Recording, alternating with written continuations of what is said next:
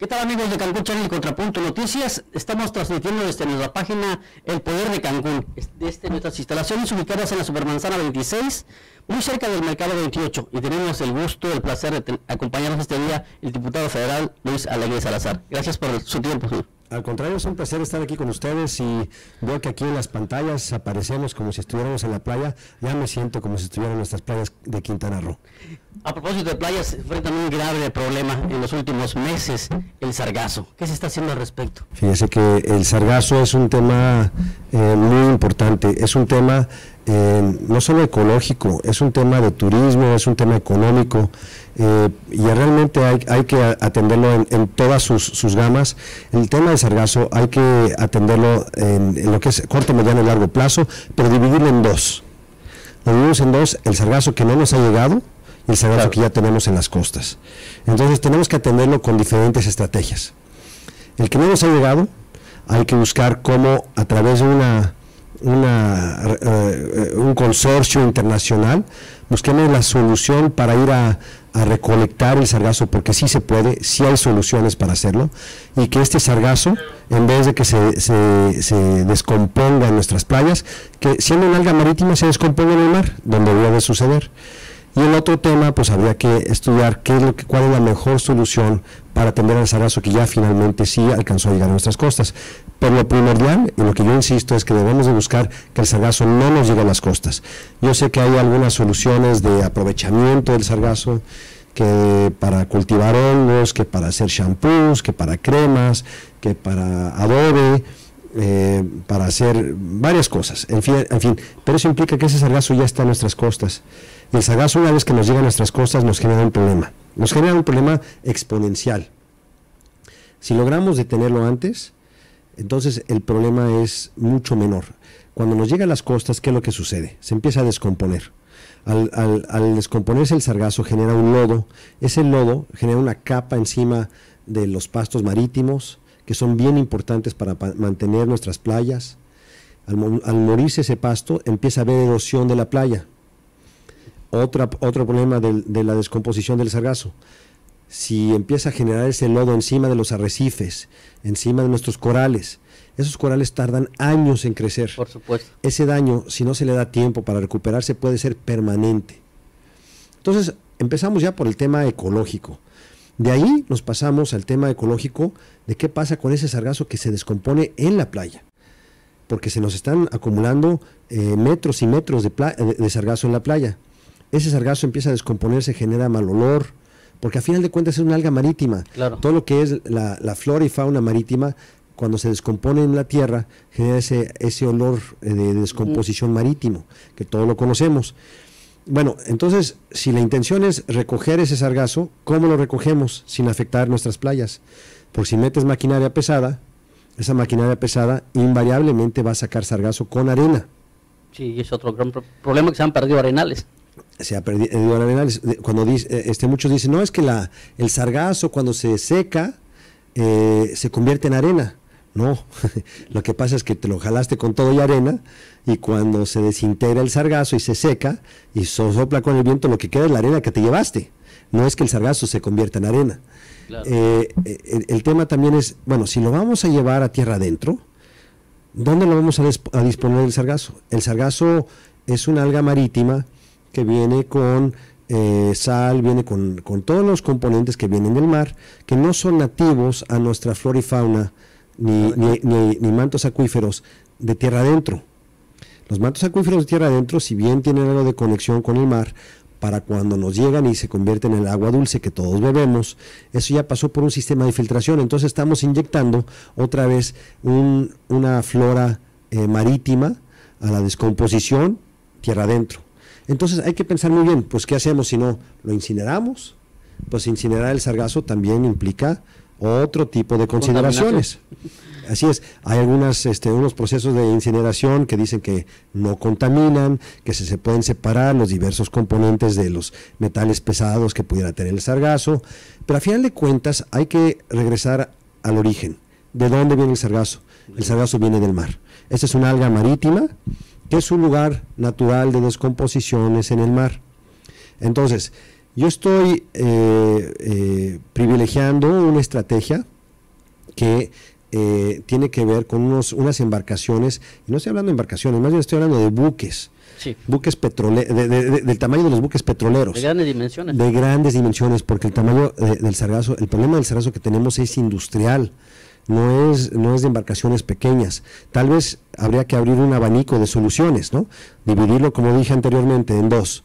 Eh, la parte que está en el mar y la parte que nos llega a las costas. Si logramos impedir a que nos llegue el sargazo y por lo menos reducir las cantidades importantes de sargazo que nos lleguen, entonces ya lo que tenemos que atender en las playas es otro problema económico, turístico y ecológico menor.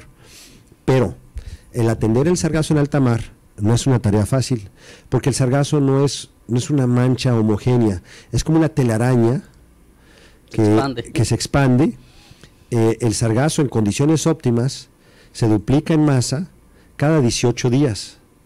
Es decir, que una manchita así se convierte en una manchita así en 18 días. Otra manchita así en 18 días.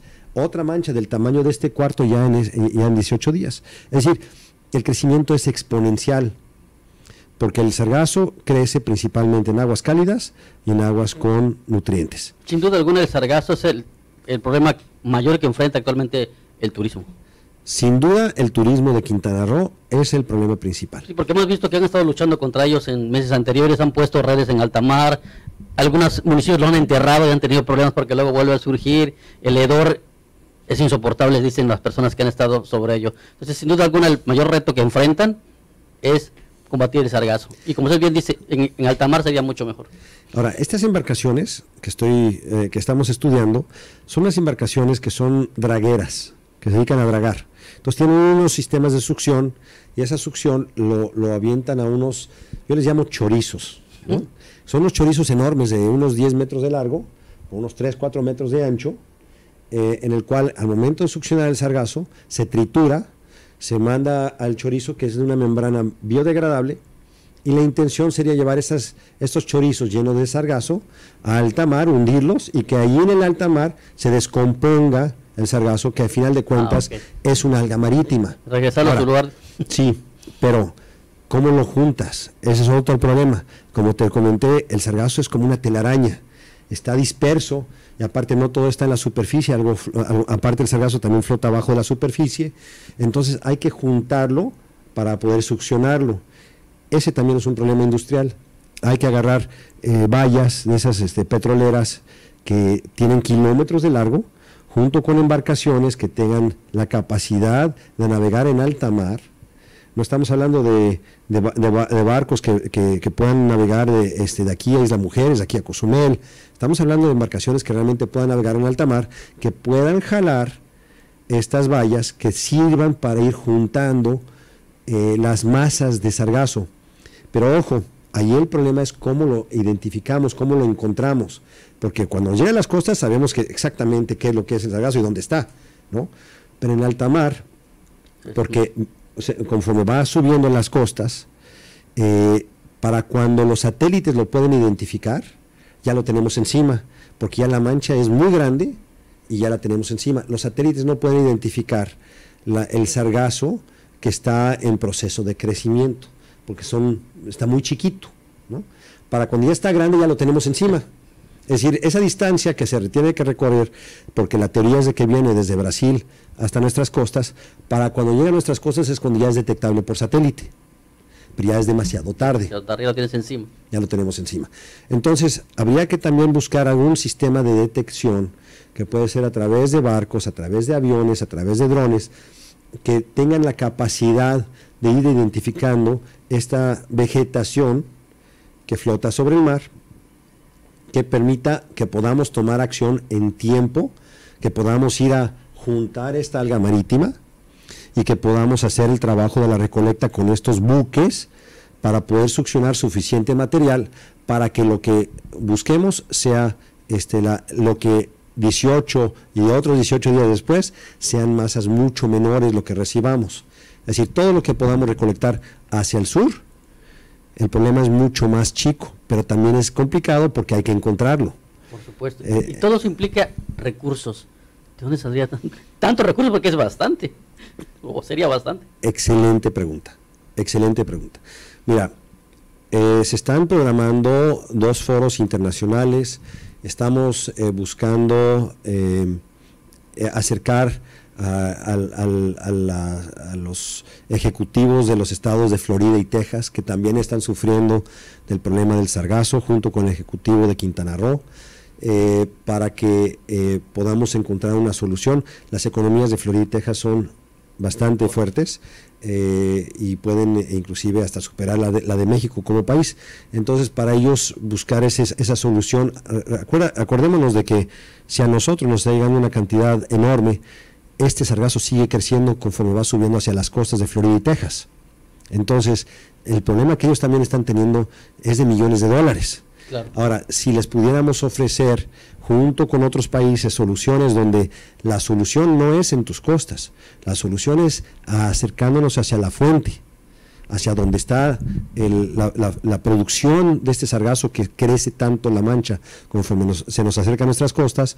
Entonces yo creo que por ahí podríamos empezar buscando recursos internacionales, tal vez algunos recursos también de parte del propio gobierno federal, eh, para que podamos eh, en una eh, unión internacional, eh, buscar una solución más definitiva de qué es lo que se puede hacer, porque ya hay muchos países de, las, eh, del Caribe que han, han, tenido que cerrar sus costas por la arribación del sargazo. entonces, para ellos que, no tienen economías, ni siquiera como el tamaño de la economía de, México, el tamaño de la economía del estado de Quintana Roo, este, no tienen cómo enfrentarlo, económicamente hablando han hecho estudios, eh, han hecho mm, varias peticiones, pero yo creo que la solución definitivamente es eh, a largo plazo, pero ya si largo plazo es de inmediato, tenemos que atender el tema de largo plazo en 2019. ¿Me explico? No podemos poner el, tema de largo plazo a 5 o 10 años, porque el problema lo tenemos encima. Ya nos empezó a llegar el sargazo. Sí, sí, claro. Esperábamos que íbamos a tener el sargazo en marzo, pero ya hay playas que están eh, recibiendo el sargazo. Y el sargazo cuando el viento lo sopla fuera de las costas de, Cancún o de, playa o de Isla Mujeres, no quiere decir que desapareció el sargazo, simplemente las corrientes de agua y de viento se lo llevaron a otro lado, pero sigue creciendo la mancha. Es como el, las películas de terror, ¿no? El, el monstruito que va creciendo poco a poco, pero este monstruito crece exponencialmente. El sargazo es una especie que en cantidades naturales en cantidades pequeñas es natural para nuestra, nuestra zona. Es benéfico, pero, en grandes cantidades pues ya en grandes problema. se convierte en una especie invasiva que tenemos que erradicar porque ya se convierte en una plaga. Exactamente, y lo, bueno de ustedes es que ya lo están viendo y están analizando cómo lo van a combatir. Aparte de del sargazo, otro gran problema que nos ataca en Cancún, la inseguridad. Es un, un flagelo que nos ha atacado los últimos dos años. Eh, los que tenemos la fortuna de vivir en este paraíso hemos nos hemos puesto a pensar qué serán de nuestros hijos en el futuro si no se logra frenar esta ola de delincuencia. ¿Cómo ha visto el trabajo del señor Alberto Capela? Que muchos dicen, o sus cifras dicen que han bajado, pero la realidad, o la gente dice, no ha pasado nada. ¿Usted qué opina de ello? Mira, eh, es un problema, ah, al igual que el sargazo es un problema complejo, el tema de seguridad es un, problema complejo que nos, ah, que nos aflige a toda la República, no solo el Estado de Quintana Roo. Eh, no hay una eh, píldora mágica que se puede uno tomar para de repente decir ya se solucionó. Eh, las medidas de, combate a la delincuencia en todos los, ámbitos que estamos viviendo, en todo Quintana Roo, al igual que en toda la República, requiere de múltiples ataques hacia la delincuencia, desde generación de empleo, hasta eh, la, aplicación de la fuerza ah, para poder este, evitar esta, e, e, esta, esta la delincuencia. Entonces, eh, apenas lleva poco tiempo el, secretario de Seguridad Pública en Quintana Roo para poder decirle, bueno, a tu llegada teniste que haber combatido al cero la, la delincuencia. Es una expectativa eh, poco realista porque la delincuencia organizada, precisamente por eso se llama delincuencia organizada, eh, ya lleva mucho tiempo estableciéndose en todas nuestras plazas y contaminando toda la vida que tenemos, eh, la paz y tranquilidad que tenemos en el Estado y en toda la República. Entonces yo sugeriría ah, a la ciudadanía que, busquemos cómo unirnos como ciudadanos para estar todos pendientes, para estar todos atentos eh, a todo lo que está sucediendo a nuestros alrededores, para comunicarnos como sociedad, porque una sociedad unida jamás será vencida. Eh, y no lo digo en, términos demagógicos. Si nos unimos como sociedad y vemos que algún hijo de algún vecino está tal vez este, yéndose hacia un lado equivocado, ayudemos a los padres de esa familia para jalar ese, ese joven hacia actividades productivas. Y el gobierno federal ya anunció varios programas para los jóvenes, entre esos Jóvenes Construyendo el Futuro. Jóvenes Construyendo el Futuro es un programa de, de aprendices que eh, las empresas que deciden, ustedes por ejemplo aquí en Cancún Channel, decidan inscribirse en ese programa, se convierten en empresas socialmente responsables, en la cual eh, eh, son acreedoras a poder recibir estos aprendices y el gobierno federal a través de la Secretaría de Trabajo sería quien le pagaría la quincena a estos jóvenes que vendrían a trabajar y aprender con ustedes. Entonces yo les recomiendo a todas las empresas de todo el estado de Quintana Roo que busquen cómo inscribirse a este programa de jóvenes construyendo el futuro, porque si lo hacen van a ser acreedores de dos cosas. Una, van a poder capacitar a nuestros jóvenes. Dos, más bien tres. Dos van a poder este, eh, eh, ofrecerles una alternativa y, darles un currículum para que cuando ellos se reciban o estén eh, recién egresados de la universidad tengan experiencia. Y tres, esto no genera un vínculo laboral. Esto lo que genera, genera es un pago de la, Secretaría de Trabajo y la Secretaría de Trabajo es quien contrata a estos jóvenes y las empresas tendrán un trabajador adicional durante un periodo de 12 meses. Eso es uno. Pero también el gobierno federal está dando becas para los estudiantes de todos los niveles.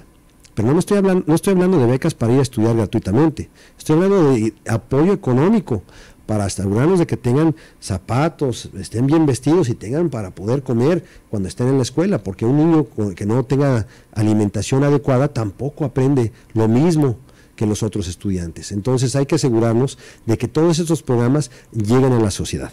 Y eso contribuye a que la delincuencia vaya, en minoría, vaya disminuyendo, porque estamos sacando a jóvenes de las potenciales eh, garras de los delincuentes. Ese campo fértil de nuestra juventud hay que rescatarla, hay que traerla hacia acá. ¿Y cómo lo podemos hacer? Como sociedad. Como sociedad sabemos, hay, busquen a sus vecinos, busquen a los jóvenes de sus vecinos, si ustedes tienen hijos, pregúntenle a sus hijos cómo está, a qué horas están saliendo con sus amigos, qué están haciendo con sus amigos. Como padres de familia tenemos esa responsabilidad de buscar esa unión familiar, pero no solo entre nosotros, sino como sociedad, y como sociedad poder convivir más y más con nuestros vecinos, estamos muy, estar atentos de nuestros vecinos, eh, porque nuestros vecinos estarán atentos de nosotros. Excelente. Otro, un detonante turístico más en Quintana Roo próximamente será el Tren Mayo, que se habla de cinco años, pero ya el 2019 ya están puesto el cimiento, la primera piedra en ello. Platícanos un poco de ello. Claro, el Tren Maya es un gran, gran producto eh, turístico, es una obra de gran envergadura eh, de infraestructura de parte del gobierno federal eh, y esta infraestructura va a generar desarrollo. ¿Eso qué implica para, para, para ti, para mí, para nuestra comunidad? empleo, Empleo implica bienestar, implica salud, implica educación. Eh, vamos a, eh, el, proyecto del Tren Maya va a cubrir, es un circuito de cinco estados. El, único estado de esos cinco que no cuenta con red ferroviaria es Quintana Roo.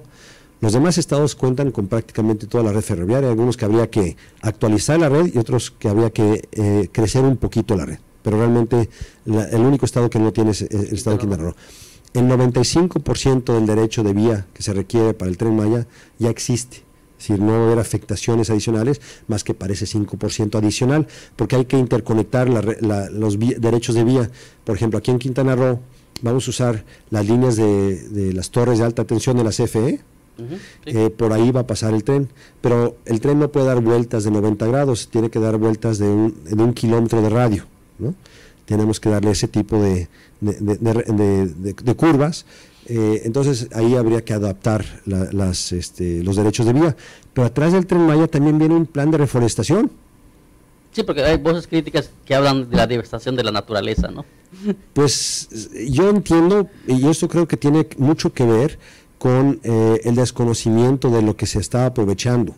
Como comento, más del 95% de, la, de las vías que se van a utilizar son derechos de vía existentes que ya han sido afectadas. Se comenta, por ejemplo, de los pasos de fauna eh, para, para proteger el jaguar. Creo que en el estado tenemos un solo paso de fauna en la carretera. Y yo hasta la fecha no lo, no lo he visto. Digo, me dicen que existe, pero yo no lo he visto. No sé si tú lo hayas visto. No, no me ha tocado. Bueno, pero la carretera no lo tiene. Y tampoco me ha tocado ver eh, un jaguar muerto en la carretera. Eh, pero ahí está, el, ahí está el derecho de vía.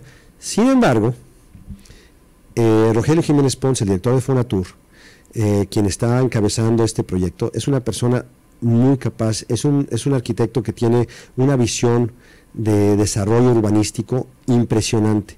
Eh, eh, ahí en los grupos de trabajo del Tren Maya, el cual tengo también la fortuna de, formar parte, hemos, eh, nos han mostrado las, los proyectos de los pasos de fauna que créeme que son impresionantes. Son los puentes que se harían donde está inclusive la misma carretera, porque el tren pasaría a lo lado de la carretera y aprovecharían estos puentes, encima se colocarían bosques entonces no sería un atractivo visual, porque uno pasaría abajo de un bosque a través de un túnel en el cual la fauna podría cruzar, donde actualmente no tiene ese paso de fauna.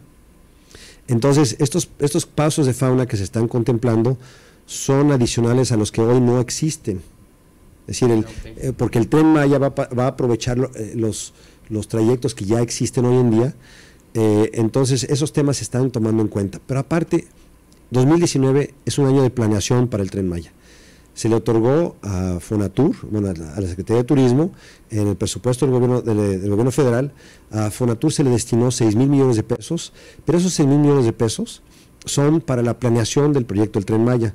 ¿Y eso qué implica? La ubicación de estos pasos de fauna, este, los estudios de eh, impacto ambiental, los estudios de mecánica de uso de suelo, las consultas con las comunidades, Muchas de estas críticas han venido por eh, tal vez comunidades que creen que a lo mejor el tren va a pasar por donde están ellos, pero tal vez no es el caso.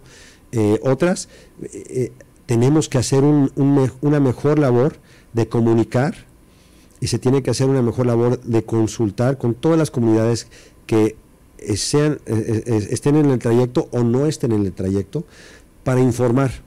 Porque la desinformación genera, como le llaman, ya actualmente el fake news, ¿no? Exactamente, el fake news. Y eso también genera descontento.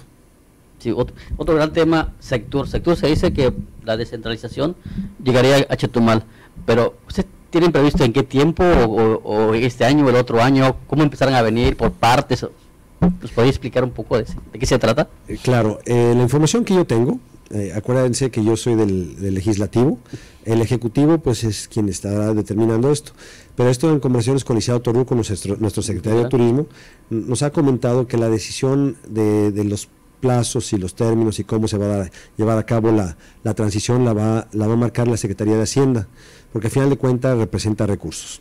la, descentralización de la Secretaría de Turismo implicaría eh, aprovechar infraestructura existente en el sur del estado, en, particular en Chetumal, y ahí implicaría pues, no solo oficinas, Estamos hablando de escuelas, estamos hablando de iglesias, estamos hablando de hospitales, estamos hablando de todo lo que implica absorber más población, todo lo que tiene que ver con, eso. Entonces, eh, también hablando con el gobernador eh, Carlos Joaquín González, nos ha comentado de que efectivamente existe infraestructura necesaria para poder ir recibiendo en forma paulatina este, a las familias que pudieran ir viniendo, de, digamos, de, avanzada eh, por, la parte por parte de la sector y en conversaciones también eh, con el Consejo Coordinador Empresarial allá en Chetumal, eh, hemos hablado con todos los segmentos de la, de la, de la economía eh, chetumaleña para ir identificando lugares donde se pudiera ir instalando. Entonces, junto con la mano con los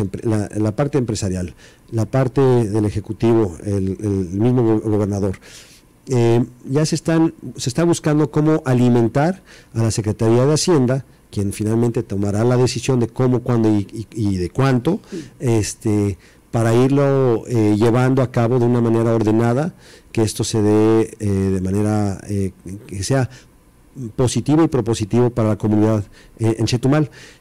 aquí lo que se trata es, generar desarrollo en la parte del estado que más lo necesita, que es el sur del estado. Ahora, el tren Maya también va a instalar allá en Chetumal, va a instalar un parque de mantenimiento del tren Maya. Uf, traerá muchos beneficios en el sur del estado, que es una lo que ha buscado el gobernador, que hay igualdad en circunstancias de, todos los quintanarroenses. Así es. Otro tema, eh, en los últimos días se ha hablado mucho del huachicoleo, los militantes de Quintana Roo han tendido lonas de apoyo en, en favor del López Obrador, apoyando esa lucha pero hay voces que dicen, eh, muchos están criticando el trabajo del señor presidente de la República contra el huachicoleo por la desgracia que pasó el fin de semana en, Hidalgo, y dicen, llegará el momento o deberán exigir las cámaras la comparecencia de los que estuvieron al frente de Pemex en su momento y no hicieron nada y solamente permitieron la corrupción galopante en sus tiempos? Pues yo creo que todo se decantará por, su propio peso, todo caerá por su propio peso. ¿no? Eh, es lamentable lo que sucedió. Eso es, eh, nadie quiere ver una tragedia de esa magnitud eh, por ninguna circunstancia. y esta es desafortunadamente la parte de la cadena más necesitada, la que sufrió esta desgracia. Es decir, los que menos tienen. porque realmente los que comercializan ese producto no estaban ahí los que finalmente distribuyen ese producto no estaban ahí, los que realmente hacen eh, la, ganancia económica real no estaban ahí. Eh, entonces, e, esta es una desgracia en todos los niveles que te puedes imaginar. Eh, tenemos que tener compasión por las familias, por los heridos, porque eso lo deja uno marcado de vida y definitivamente compasión por las familias que perdieron un ser querido el tema del huachicoleo nos afecta a todos los mexicanos. El solo conocer esta noticia nos genera tristeza profunda a todos los mexicanos. No importa de qué lado del huachicoleo está uno, del lado de la prevención del huachicoleo, del lado de la promoción del huachicoleo. Esto es una tragedia.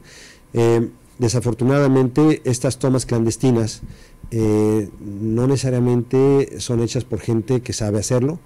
Eh, yo he visto videos donde la población que está haciendo huachicoleo están inmersas en, albercas de gasolina, ¿no? quiere decir que están empapados de gasolina. Cualquier chispa puede generar otra tragedia de estas. Eh, definitivamente es un tema que hay que buscar cómo erradicar, pero eh, es un tema más allá del, robo del combustible, es un tema de pobreza. Es un tema de que hay que buscar programas eh, y empleo para que la gente sepa que esa no es la manera correcta de, digamos, no, no solo correcta, no es su única alternativa para poder eh, darle, traerle sustento a sus familias. Eh, deben de haber más alternativas para nuestros conciudadanos en toda la República, porque eso encarece para nosotros, para todos, el combustible, y, no sé si recuerdas, pero también nos tocó, nos tocaron apagones en, el, en la península de luz. Eso tiene que ver también con el desabastecimiento de combustible. El combustible es necesario para el buen funcionamiento de la economía de México. Estos programas del, presidente López Obrador de ir acotando toda esta eh, esta industria de huachicoleo que llega a todos los niveles, este, bueno, se sabrá, yo lo digo porque así lo he visto en los medios, ¿no? Y lo he visto en varios reportajes que considero este, informados. Pero a final de cuentas la autoridad es quien tendrá que decir hasta qué nivel llegó esto. Y la autoridad que, será quien tendrá que tomar las medidas necesarias contra aquellos que estuvieron participando en esto en todos los niveles. Yo, yo, yo coincido contigo, es mejor buscar desde las cabezas, porque ahí es donde se organiza todo. Esto, a final de cuentas, es un crimen organizado. Por supuesto, por supuesto. Eh, entonces, el buscar la independencia de, de, los mercados internacionales, el poder. Mira, el turismo representa como industria la primer fuente de ingresos de divisas extranjeras para México. Es correcto. Antes era el petróleo. Ahora, eh, afortunadamente por turismo, porque me toca eh, la honrosa representación de presidir la Comisión de Turismo en la Cámara de Diputados, este, estamos en primer lugar. Pero nuestra industria, que antes era la generadora de divisas, que era el petróleo, ya no lo es. Ya no lo es. Ahora, como generador de divisas, eh, el turismo está en tercer lugar, pero primero como industria. Los otros dos no son industria, Uno es inversión extranjera, es sano, y el otro, que debemos de tener pena y vergüenza, es las remesas de nuestros conciudadanos en el extranjero. ¿Y por qué están en el extranjero? Por falta de oportunidades. Entonces, lo que está buscando el Lisiado López Obrador es darle oportunidades a nuestros conciudadanos. Ese programa de, de, reducción del IVA y el SR en la frontera norte, reducción de la gasolina, es para, para desincentivar la migración de nuestros conciudadanos hacia la frontera norte, que sepan que somos competitivos en México. Y yo espero que pronto podamos ofrecer lo mismo en la franja sur, que también beneficia a Chetumal. Sí, como en su momento estuvo 8% del IVA y luego votaron para que aumentara 16%. Otro tema, eh, diputado, eh, sabemos que usted es, este, externo de Morena, no, fue, eh, no, pertenece a las, a, las filas de Morena, pero sin embargo nos gustaría saber su opinión. en los últimos días ha habido una... los militantes han salido a, quejarse públicamente de las alianzas. De las alianzas y justamente hoy en la mañana un grupo de personas decían... Eh, si López Obrador está en el poder es porque más del 80% de la población estaba en desacuerdo con la corrupción. Y la alianza con el Partido Verde Ecologista no está siendo bien vista. ¿Usted qué opina sobre ello?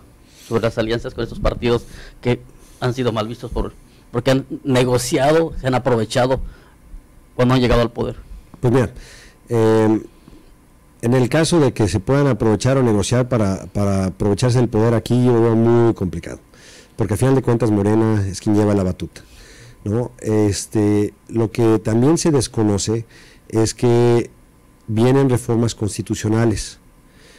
Si la cuarta transformación que tanto ha anunciado el presidente López Obrador, como lo es la Guardia Nacional, como lo es la reforma energética, ¿a quién del auditorio está feliz pagando lo que paga de, la, de su luz? Yo creo que nadie. Nadie. eh, a quién, eh, de aquí de los, del, magisterio está, están contentos con esta reforma eh, educativa.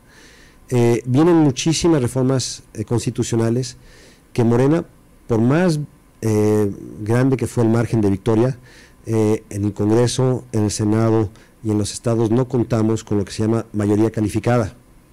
La mayoría calificada es necesaria para las reformas constitucionales la mayoría calificada eh, requiere de dos terceras partes de la votación.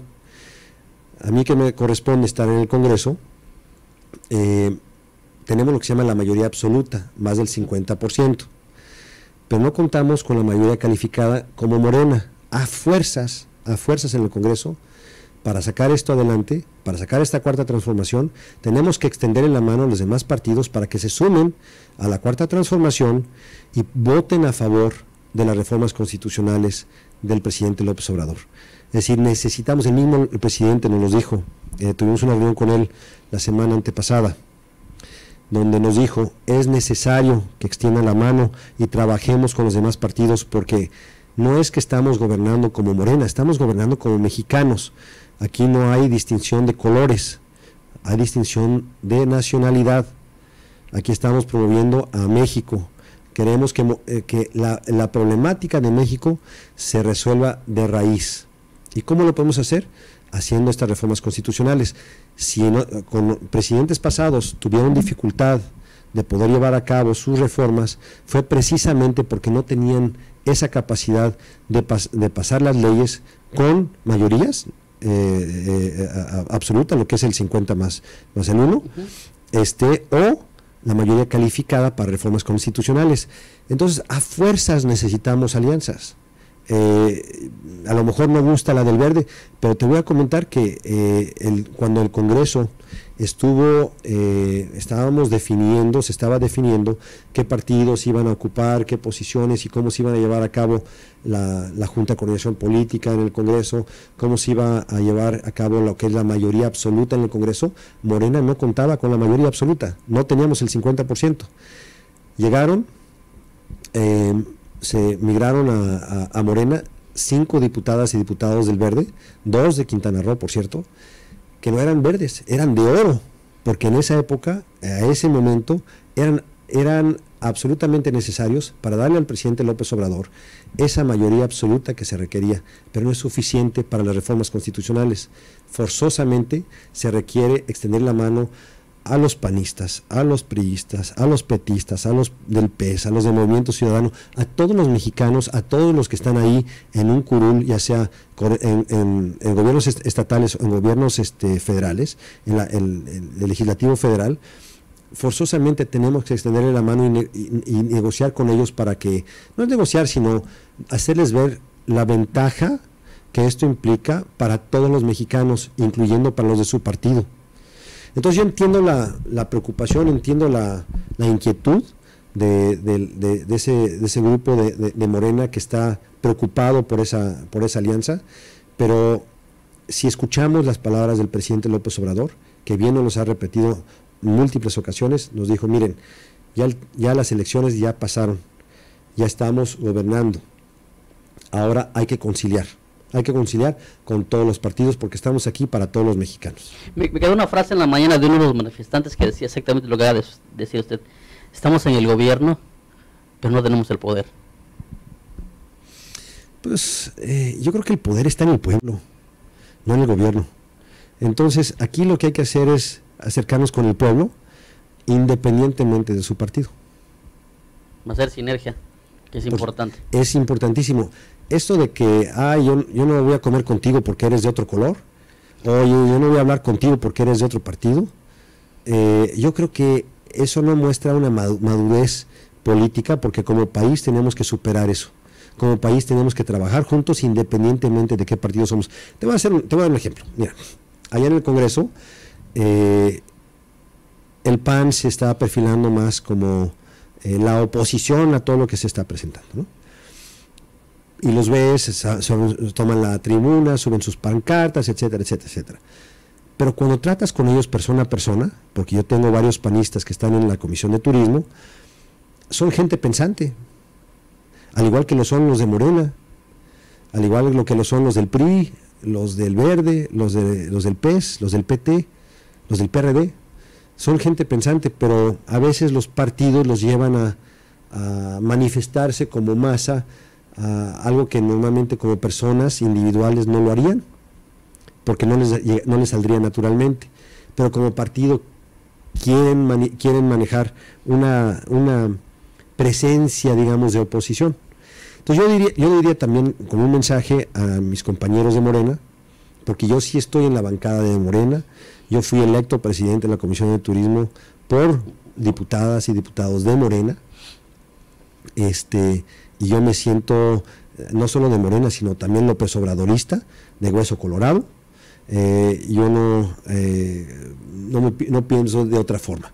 Y lo pero lo que sí me siento más allá de eso es mexicano. Entonces, como mexicano, hay que buscar conciliar, hay que bajarle unas rayitas a todas esas. Mira, claro que debemos de estar orgullosos por la victoria que se tuvo. Es de orgullo ese margen de victoria. Pero ese margen de victoria lo que nos llevó es a que tengamos eh, más legitimidad con, eh, eh, con, lo que se está haciendo en la implementación de la plataforma de campaña de Liceo López Obrador. Porque tantos mexicanos, 30 millones de mexicanas y mexicanos votaron por eso.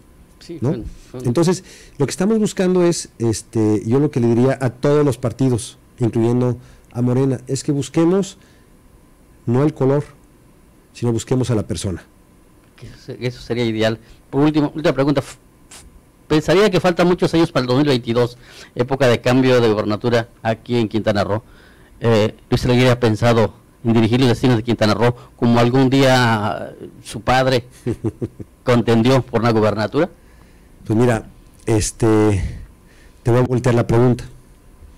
Si alguien viniera a tu canal recién contratado y te dijera, eh, ahorita no puedo hacer lo que tú me pediste que haga, que hagas, porque estoy buscando mi próxima chamba. Tú le dirías, oye, ¿sabes qué? Pero hazla, pero ya no desde aquí, desde afuera, porque te acabo de contratar para que seas camarógrafo, para que seas productor, no para que vengas a buscar tu próxima chamba. A, mí me, me, toca la honrosa responsabilidad de ser diputado federal y los retos y el trabajo es enorme y lo hago con mucho orgullo y mucha responsabilidad.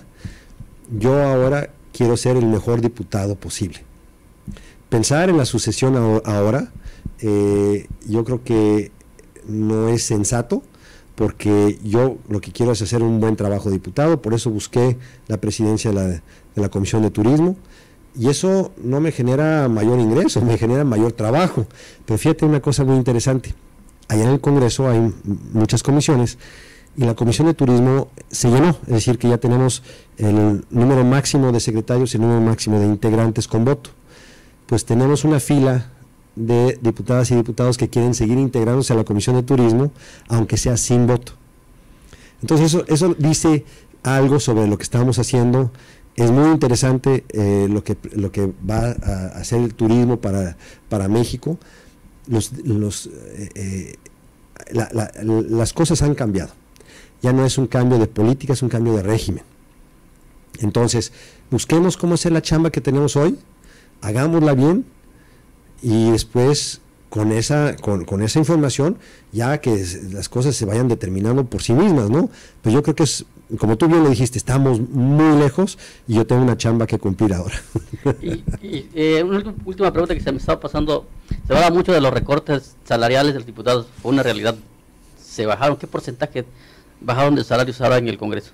Eh, tengo entendido que era 30% porque yo nunca fui diputado federal, entonces este pues yo estoy eh, hay, hay, algunos diputados que han dicho no que con eso no no cubrimos este pues mira hay mucha gente que gana mucho menos que nosotros y aún así cubren sus necesidades. Eh, yo sé que a nosotros eh, nos busca la gente para, para apoyos y de ahí buscamos cómo dar, dar los apoyos. Claro que a todos nos encantaría tener más para poder hacer eso en mi caso, en algunos casos lo que quiero es ganar más, pero en, en, en, mi, en mi, caso lo que me gustaría es poder apoyar más a la gente. Eh, el esquema de los diputados ha cambiado.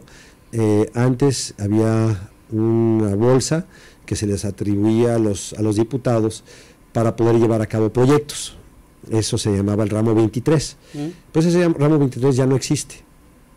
Entonces nuestra función, como lo ha definido el presidente López Obrador, es ser legisladores. Si nuestra función no es ser ejecutivo, no nos corresponde eh, eh, buscar los recursos para un domo.